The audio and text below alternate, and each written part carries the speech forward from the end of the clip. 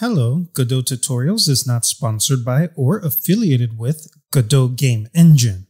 In this episode, I'm going to go over the following. The first thing is I'm going to show you how I like to set up my project before I actually do anything. Second, I like to draw out what I want to code before actually coding. This is so in my head I can visually see what I will be attempting to do in code.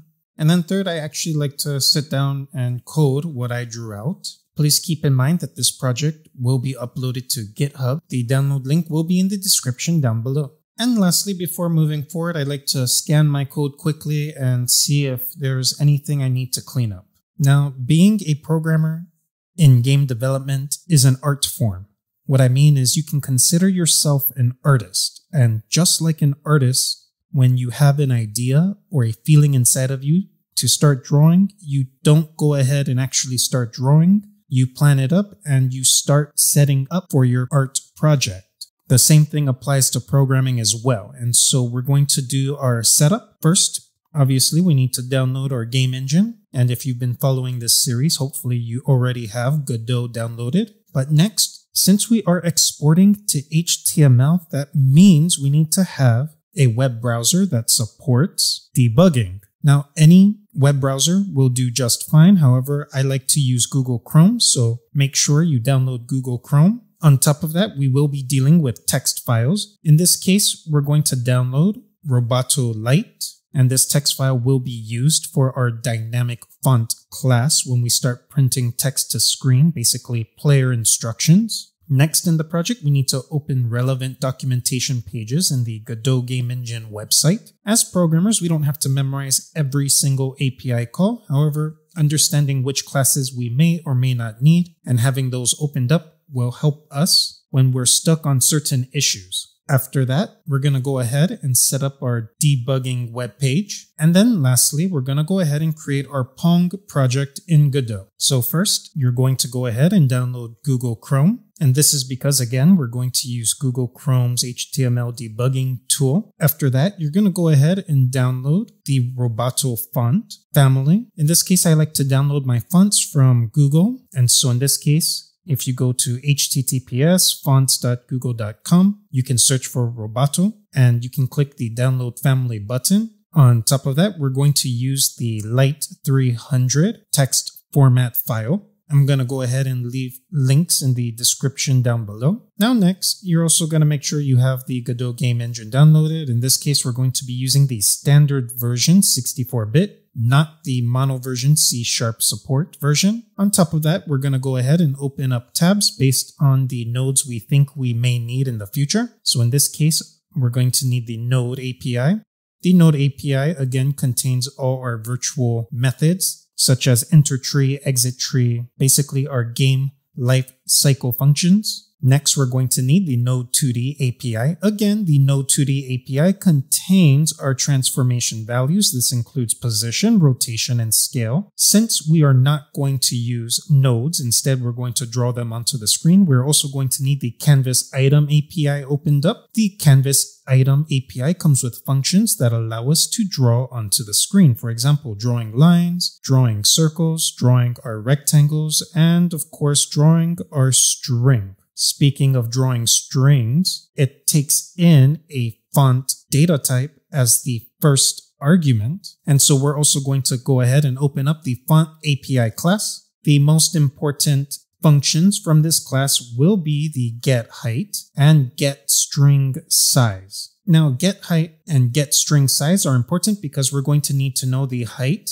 of our fonts that are drawn to screen, and we need to know the width of our fonts drawn to screen in order to center our string nicely for the player. Now, again, we're also going to need either a dynamic font or a bitmap font if we're going to draw to the screen. So in this case, I'm going to use dynamic font. So go ahead and open up the dynamic font API class. Now we are not going to use anything from the dynamic font API except for the font data to set which text file we will be using, in this case Roboto Light, and setting the size of our font, in this case size 24. Lastly, open up the OS class API. We're going to need its window size in order to get the width and height of our screen. And lastly, let's go ahead and take a look at setting up the developer tools for Google Chrome. Now you're going to go to the top right. You're going to see three dots. Go ahead and click that. Go all the way down to more tools. Then head down to the bottom, click on developer tools. And on the right side of the screen, you should see something open up. Now let's make sure that our errors are persistently logged. What I mean by that is normally by default, if you were to get an error here and you were to refresh your screen, or in this case, our tab, you're going to notice that our error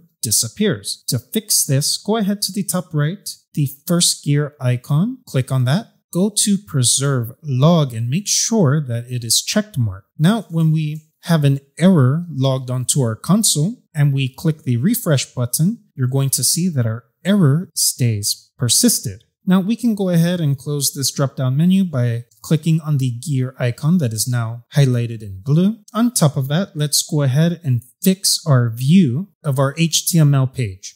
So in this case, on our left, this is our view. Now I'm going to go ahead and click this device button. It's called toggle device toolbar. Go ahead and click that. Make sure it's highlighted in blue and you should see this resizable and adjustable screen. The reason we want to be able to adjust this is depending on our settings in Godot, we should be able to change to see what our game may or may not look like when displayed on HTML. And this is dependent on how we're going to upload. In our case, what we're going to do is upload to itch.io. So in this case, I want you to go to the top right, make sure that responsive is checkmarked and Keep in mind that we are 1024 by 600 in the Godot application. I like to keep it at 100%, but if you feel that this is too big, you can always set the scale to a smaller size. It really doesn't matter in our case. We just want to see how our game displays on a web browser. But again, it's important that we set the size to 1024 by 600, which is the default size in the Godot Game Engine's new project. That's because when we upload to itch.io, we're going to have to manually set the iframe and we will be setting it to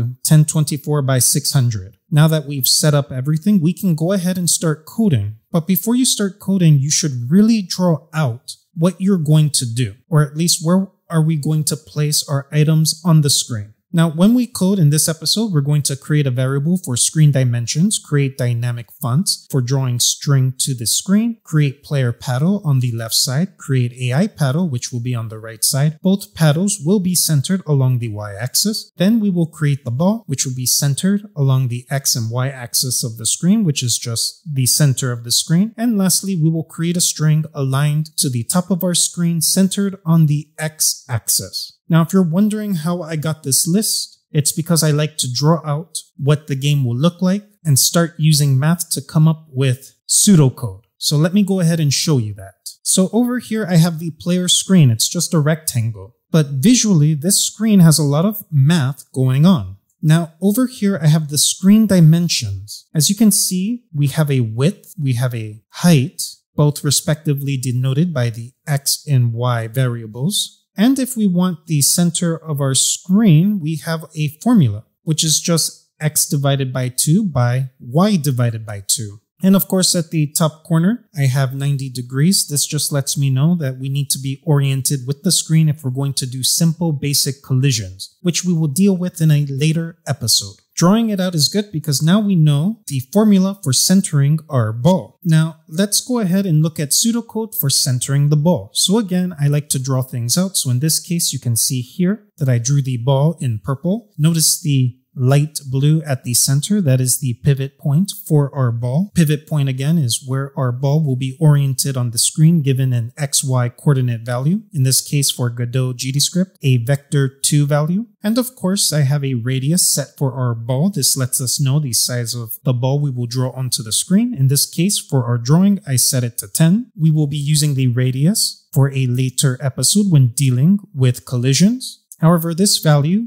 in this case, the value of r can change. The most important thing is just visually seeing that our ball has a radius. Now again, to center our ball to the player's screen, we need to take our width of the screen divided by 2, which will be the x value in the coordinate system, and y divided by 2, and this will center our ball onto the screen. So as you can see here in pseudocode, our ball position is equal to x divided by 2 by y divided by 2. Let's do the same thing for the player paddle, which will be left aligned centered on the y-axis. So again, I drew what I think we'll need on the screen. In this case, I have our player paddle in purple, the light blue at the top left, which again denotes the pivot point. Now there will be spacing between the left edge of the screen and the player paddle. I given this the variable p, which is just padding, which again is distance from the edge of the screen. On top of that, I drew a width and a height and half height. And of course, half width of the screen. Now, after we have drawn out what we're going to need, we can go ahead and create our pseudocode for the paddle position. In this case, paddle position is equal to, on the x-axis, just the padding value, because again, we need to move it to the right from the edge of the screen, and that is represented by the value p, which is padding. And now on the y-axis, in order to center our paddle on the screen, we're going to need two things. We're going to need the width of the player screen divided by 2, which will take us to the middle of the screen. However, because our pivot point is up here, if we were to leave that value there, our paddle will actually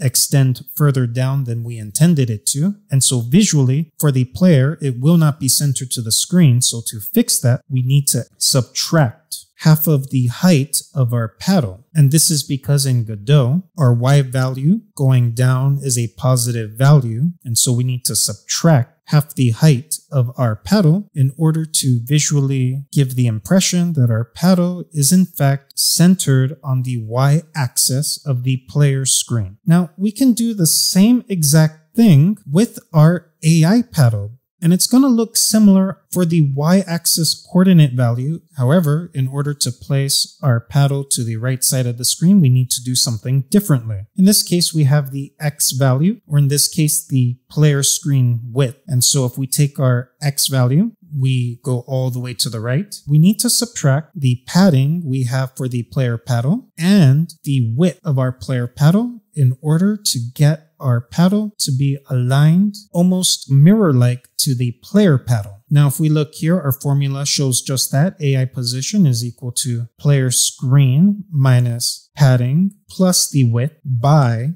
half of the player screen height subtracted by half of the AI paddle height. And so just by drawing it out, we can see how we are getting our formulas for the position of our drawings. And of course, again, we have to do the same thing for the instructional text. Because we're going to put our text at the topmost part of the screen, we need to have a formula for how we are going to place that. In this case, we have half of the player's screen width. We have a padding from the top. Also, when it comes to strings, they are usually placed in a, a box of sorts and that's what's going to happen when we use dynamic font in Godot GDScript. So with dynamic font, we will be able to get the height of our string container and the width of our string container. Now in Godot, text tends to have natural padding. So whether we need a padding value or not is up to you. In this case, I'm going to omit the padding value just because the Roboto text file comes with natural padding. Now, once we've drawn it out, we can sort of see what our pseudocode is going to look like for positioning our text container. So in this case, text position will equal to half the player screen width subtracted by half the text container's width by the height of our container. Now, if you notice here, we have a pivot point to the bottom left, and that's because I find that when dealing with dynamic font, for drawing string, I find that it is bottom left. Let's get to drawing our game objects onto the screen. So first go ahead and create your project. In this case, I called my project Pong Basics Series.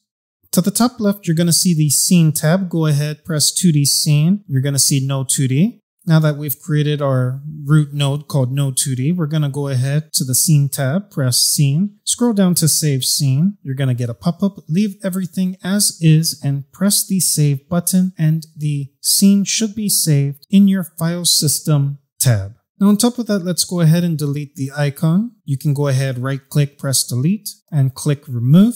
Now that that is out of the way, let's make sure that we can debug in HTML. Now by default, you cannot test in HTML or export in HTML until you have downloaded the necessary template files. Let me show you what I mean. Let's pretend you finished your project and you decided to export. To export, you go to the project tab, scroll all the way down till you see export. Go ahead, click that. In the menu, you're going to press the add tab, pick HTML5, go ahead, press that. And as you can see here, an error shows. And this error is letting you know that by default, there is no export template found at the expected path. Now, this error is simple to solve. Let me show you how. Let's go ahead and close that tab. Go ahead to the editor tab, click on that. Make sure you scroll down to manage export templates. Click on that. And as you can see here, you should have something missing. We need to download this. So go ahead, press the download button. When the download is complete, it's just going to send you to a link because we will need to install from file. Go ahead, press this link. It should automatically download for you. When the file has fully downloaded, you're going to make sure that you know where your file was saved to in most cases, it should be the download folder of your respective operating system. Regardless, we're going to go back to our game engine application. We're going to go ahead and close. We're going to click install from file and go to the exact file path where our file has downloaded to. In most cases, again, it will be your download folder. In this case, when you finally found your file template, you're going to go ahead, select it, make sure it shows here, and you're going to press open. Your system will then try to extract the template.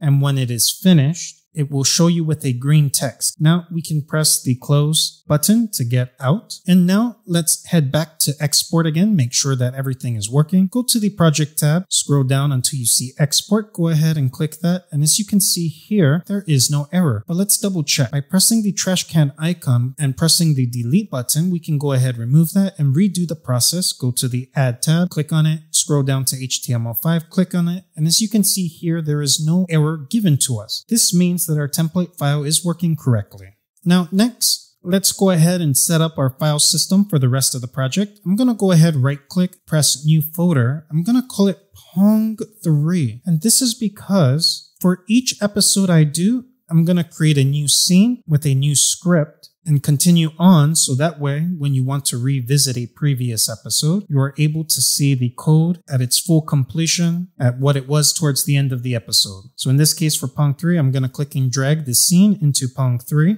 I'm also going to go ahead and create a new script. I'm going to call this Pong. I'm going to click and drag this to the top of our Node 2D in the scene tab. I'm going to go ahead and save this.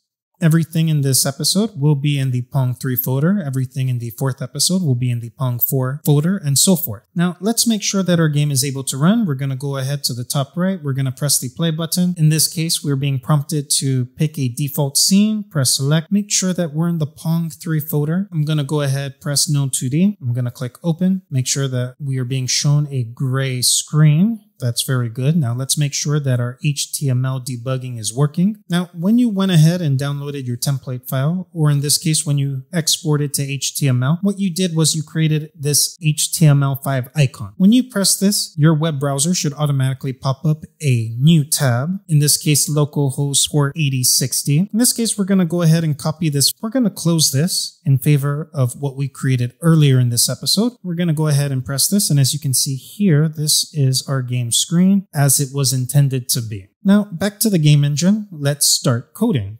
I'm going to go ahead and press the file icon. I'm going to delete everything. We're going to start from scratch. In this case, let's make sure that we are extending from Node 2D. Let's go ahead and create our lifecycle scripts. In this case, we know we need a ready virtual method.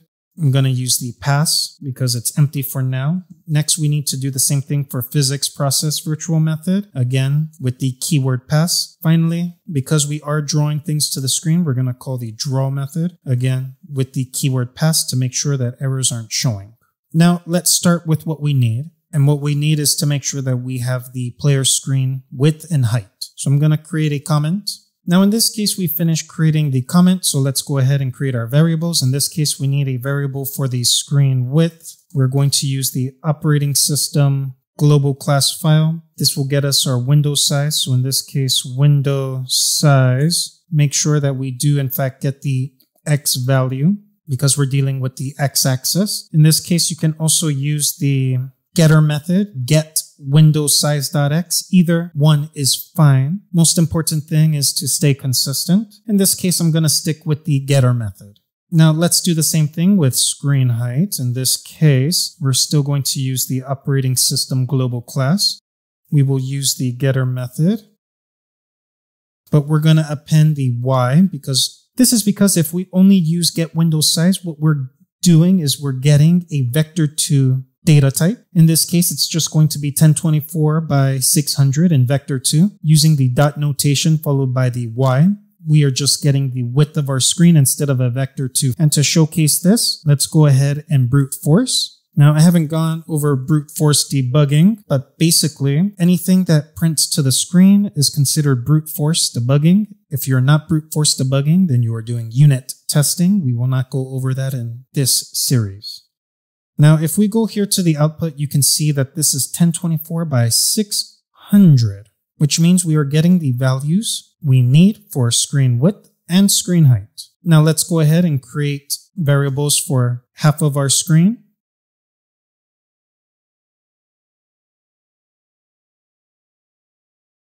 In this case, we have our screen width, screen height, half screen width, half screen height, and that's enough for our window. Now let's go ahead and start drawing to the screen. So in this case, let's start with the draw circle method. In this case, our position is a vector 2. And just like our drawing, we're going to be half screen width and half screen height. So let's go ahead and do that right now. Next on the list is our radius, in this case 10.0, and our color we're going to set to white using the global color class.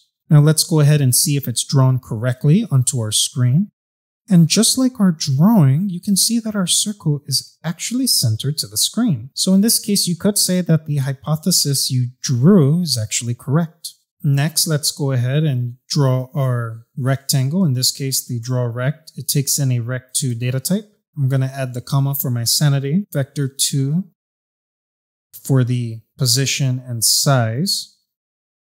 In this case, I just want to draw to the screen, and so I'm just going to type in values. But our size will be 10 width, followed by 100 height. We're also going to create our color, in this case, color white. And that should be enough to satisfy. Let's just make sure that we are drawing. And as you can see here, we do have our paddle on the screen, but now we want this in the middle. And so just like our formula, let's go ahead and create some variables. Now, one thing to keep in mind is that the values we pass to our player paddle will be the same for our AI paddle. For example, the color, the width of the paddle, the height of the paddle. And so let's go ahead and create some paddle variables. So in this case, I'm going to create a comment to section of paddle variables. In this case, we do want a color. We're going to go ahead make sure that that's white. We're also going to create player vector width and height. Okay, now that we have our paddle color and paddle size, next we need to create half of our paddle height. And that's because our formulas for positioning our paddles is reliant on getting half the size of our paddle. So let's go ahead and do that. Half paddle height is equal to paddle size dot y divided by 2. And that gives us half of our paddle height. Lastly, let's go ahead and create our paddle padding. So in this case, we're going to do paddle padding and we're going to give it a value of 10.0. This is all we need in order to replace our hard-coded values. So let's go ahead and delete that now and replace them with our variables. In this case, our script variables. So in this case, again, we need a rect2 value. It takes in two vectors. The first vector is position. So on the x-axis, we're going to use paddle padding. On the y-axis, we're going to do half screen height. And we're going to minus it with half paddle height. The next vector 2 value will be the size. So in this case, we're just going to do paddle size. And then we're going to pass in paddle color. And this should satisfy our draw rectangle method. And if we press the play button, you can see that our paddle is now centered to the left side of the screen with a padding of 10 pixels, just like our formula in our drawing. Now let's go ahead and draw our opponent. We're going to do the same thing. We're going to do draw rect again. We're going to get the rect 2 In this case, for our width, we need the screen width. We're going to subtract it by the paddle padding plus the width of our paddle. In this case, I'm just going to use paddle size, get the X value. Now that we've finished the width of our AI paddle, let's work on the height. It's going to be the same thing as our player paddle. In this case, half height for the screen. And we're going to subtract that by half paddle height. And that should give us its position. Next, we need to pass it in the value for our size. So in this case, it's just paddle size after we've done that, let's go ahead and set the color. So in this case, paddle color, and that should satisfy our rectangle for the AI. And if we press play, we should see that our enemy AI is now oriented to the middle of the screen on the right side. Again, just like our drawing. Now I want you to notice something here. Our draw rectangles use variables inside of the draw rect method, but our draw circle is a mix of variables and hard coded static values, or in this case, literal values. So let's go ahead and create those variables for the ball. Let's go ahead and create the radius and color for the ball. Next, let's go ahead and create the color for the ball. And let's go ahead and replace this. So instead of that, we're going to say ball radius. And instead of color white, we're going to say ball color. We're going to go ahead, press play. And everything is working as it should. Let's finish off with the fonts. So let's go ahead and section that off with a comment. Create the variable for our font. We're using the new method. And that's basically it. Before we can move on to actually using the font variable, we need to import the font file we downloaded from Google Fonts onto our file system. So in this case, let's go ahead, right click, scroll all the way down till you see open in file manager. Click that. Once you've done that, you're going to go ahead and go to where you downloaded your Roboto files. In this case, you're going to pick light. So roboto-light.ttf. Once you've highlighted it, you're going to click and drag it onto your file system. Let's go ahead and move that up and we'll leave it in the root directory for our game. Now that we've uploaded our roboto-light.ttf file inside of our file system in the root directory for our game, we're going to go ahead and create a variable for our Roboto and we're going to load it. In this case, our file has been loaded into our variable called Roboto. Now we are using the load keyword because we need to load this resource and then apply it or insert it into our variable. Let me go ahead and change the name to Roboto file, a little more descriptive. Lastly, we need to create a variable for our font size. In this case, variable font size is equal to 24. Now that we have our variable set up, let's go ahead and edit our dynamic font class type in the ready virtual method. In this case, font data, and we're going to assign it the Roboto file. Next, we're going to do the size, and we're going to set it to the font size. Now, once we're done with that, let's go ahead and draw our string onto the scene of our game. Now, from there, we can go ahead and actually draw to the scene. In this case, we need to pass it a font. On top of that, it takes in a vector 2 for the position. In this case, we just want to show what happens. So I'm just going to do this, just pass in random values just to make sure that our font actually draws onto the screen. And we need to pass it a value.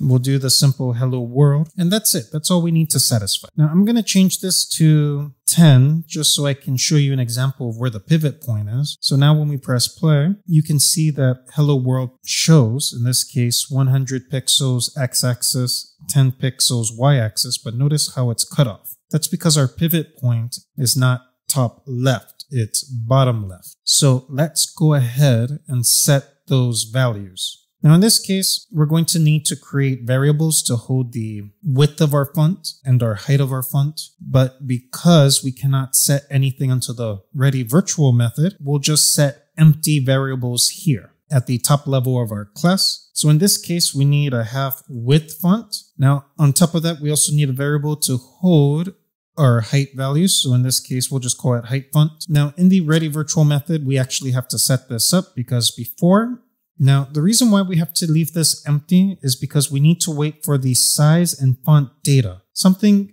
to note is that string values, when we need to calculate the width or height of strings, it's a little complicated. That's because different characters have different pixel widths and pixel heights, and that depends on the font size you use. For example, 12 pixel size versus 24 pixel size for your characters. And it also depends on the type of font you're using. Are, are you using sans or are you using serif? So again, different fonts give you different pixel heights and different pixel widths for each individual character. Keep in mind that capitals range from about 10 to 12 pixels, lowercase range from 6 to 8 pixels, periods, commas range from 4 to 6 pixels. Before we can calculate the width and height of our font, we need to know one, what font are we using, and two, what's the font size. And of course, lastly, we need to know what our string value is. And so over here in font variable, we're going to do that. So in this case, variable string value, and we're going to leave it to hello world.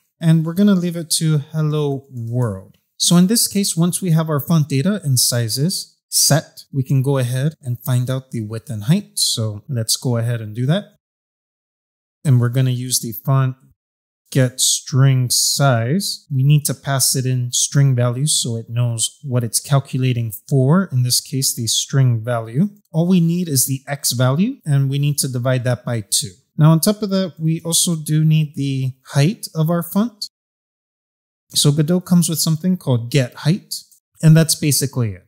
Now, if we reach down here, we can get rid of the hard-coded literal values and actually use our variables. In this case, we're going to do, for the width, we need half of the screen width, half screen width, and we're going to subtract that by half width font. And then for the second value, we just need the height. And so height font. Now let's see if it aligns correctly. And there it is. Hello world is aligned correctly at the top. Our paddles are aligned correctly at the left, right, and our ball is at the center. So far, so good. But let's test it out in HTML. So let's go ahead to the top right, click the button, click run in browser. Huh, something's wrong here.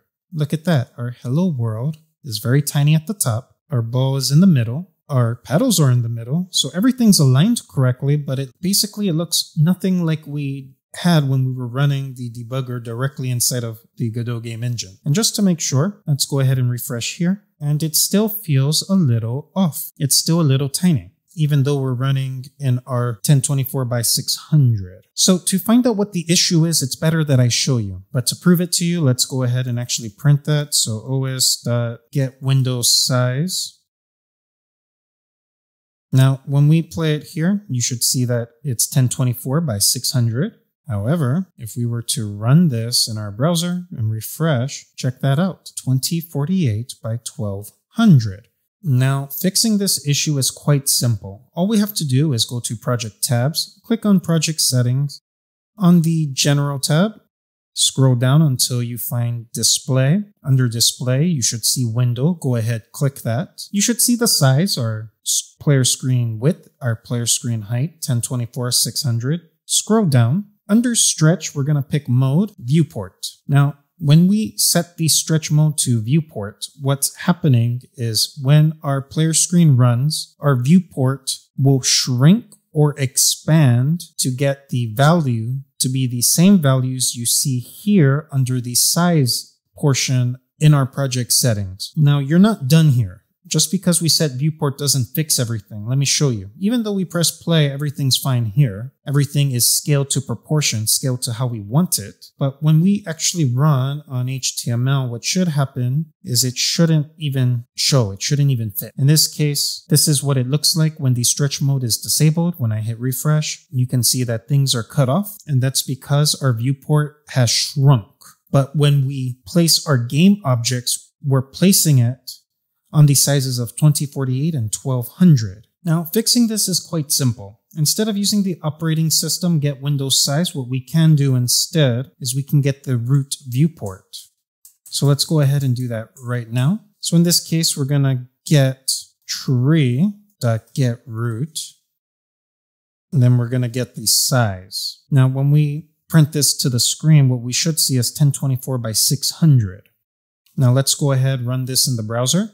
And down here, you can see 1024 by 600. Let me clear this again so you can see. So 1024 by 600. Now, as you can see here, we solved the problem sort of. Now you have to remember that shrinking or stretching of the viewport happens after everything's loaded. And so even if we were to do something like this, get tree.getroot.size.x, it's actually going to throw an error. So what we have to do is either call the onReady keyword, make sure that we call this and everything else that relies on it once everything has loaded and done with on the scene tree.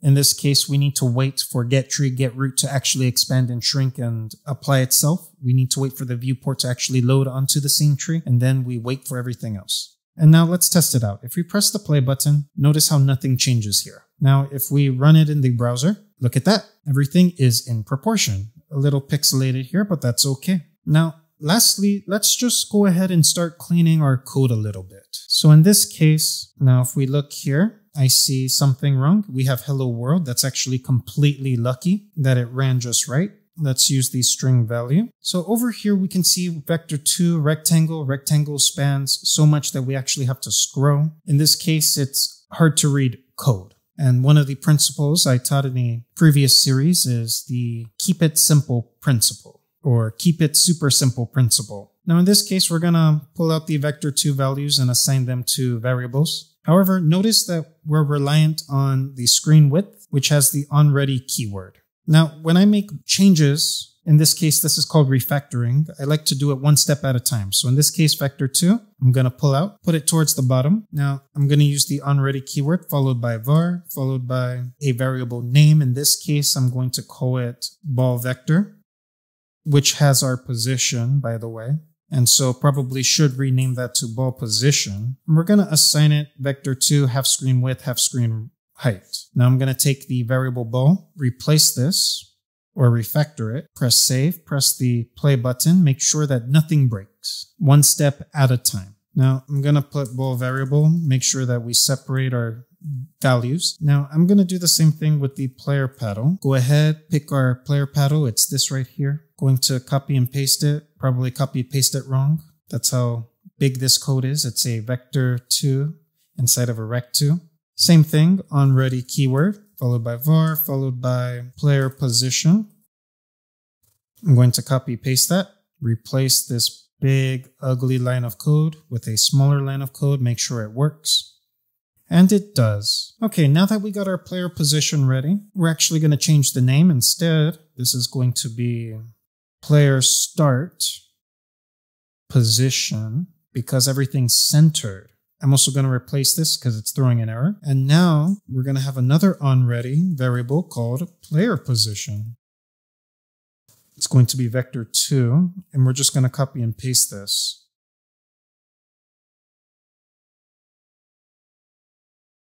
And this paddle size, we don't really need to call it inside a vector 2 because it already is a vector 2. So I'm going to go ahead, change that player position paddle size. Now, if we press the play button, you can see that nothing's changed. Let's go ahead and do the same thing for our AI paddle. So AI paddle, I'm going to just get the ready, same thing, AI position. After that, we're going to do the AI start position. And we're going to copy and paste again.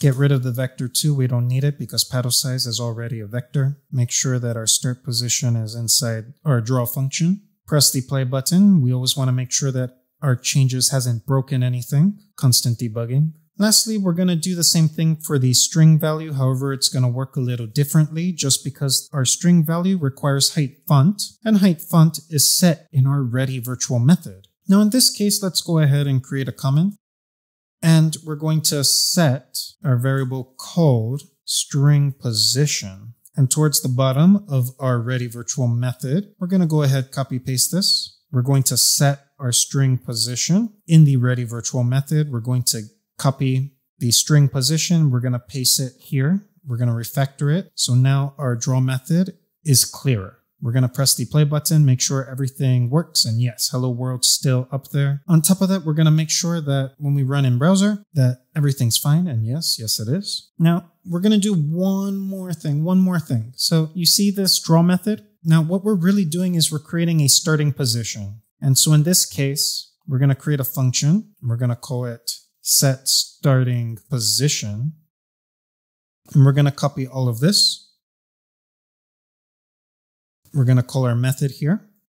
And now when we press play, we start in the starting position. And this is good because when we actually create our game further along, we're going to create states in which we need to reset everything on the screen. And this is basically it. Now, at some point, you need to tell yourself to stop cleaning code. Just keep in mind that as long as it's good enough, and in this case, everything fits along just fine here, we don't really need to scroll. If anything, we can also expand. And as you can see, there's not really much scrolling you need to do. Maybe the AI position value. But again, if it's too long, you can also hit the return. You can use two lines to do your onReady variable. It's not going to break anything, by the way, if you do that. That is okay to do. At some point, you just need to move forward. Don't get stuck on perfection because perfection is the enemy of progress. Now, I will be honest, I'm not excited about the variable name for the value that holds our rect2 data type that we pass into our draw function. So I'll make one last change. I'll just call it rectangle. I think that AI rectangle is more descriptive of what this variable is. The problem and the irony is, is that we use the data type in the name, which I don't like to do. If anything, I would actually do something like this, AI Rect2. Now, this is a little better when it comes to naming convention because it actually holds our AI object. It holds everything that it is, the position and the paddle size, and we just pass this in to the draw rectangle function for the game engine to draw to the screen. Regardless, I'm just gonna leave it as is. We'll just settle with that until a better name comes along or until we reach the end of the project in which I'll refactor it using declared data types on the variables. And of course, when you change the name, just keep in mind that we're also going to throw errors because these things don't exist down here. That should clear the error. You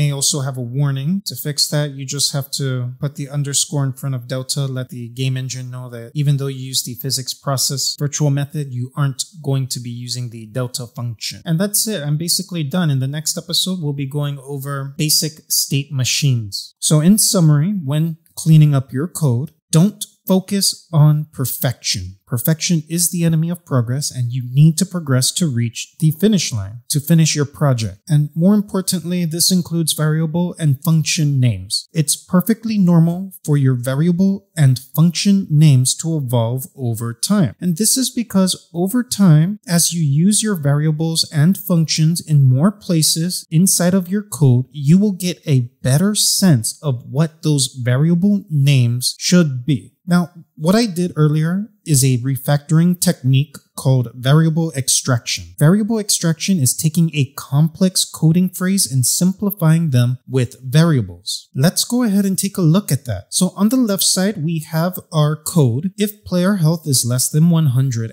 and player health is greater than zero. So basically, if our player health is between zero and 100, we want to do something. Well, with variable extraction, what we do is we pull out the code in yellow and put it inside a variable. In this case, variable is alive is equal to player health less than 100 and player health is greater than zero. What this will do is it will return back a boolean value into the variable called is alive. And from is alive, we put that inside our if statement. If is alive, do something. The reason you do variable extractions is because you want to make your code readable. In this case, if is alive describes or self-documents to the programmer what this if statement will do versus if a programmer has to read this if statement. Both mean the same thing, but the one on the right is easier to read than the one on the left. So the one thing about code refactoring is that if you are able to refactor in one direction, then refactoring in the opposite direction is also available to you as a tool. Now in this case, the opposite direction of variable extraction is called variable insertion. And so variable insertion is taking a variable and inserting it into a coding phrase. Now in this case, this is our code right here. Variable is dead is equal to player health less than zero. If is dead, do something. However, if we were to do variable insertion, another name for that is also called inlining variables, And what we do is we take out the variable, we keep the logic player health less than zero, and we insert it into our if statement if player health is less than zero. And so both do the same thing. Arguably, the one on the left is a little cleaner than the one on the right because we get rid of one line of code. So in a sense, code refactoring or cleaning up code is an art form. There's more than one way to write code. There's more than one way to clean code. Over time, you may find yourself refactoring in different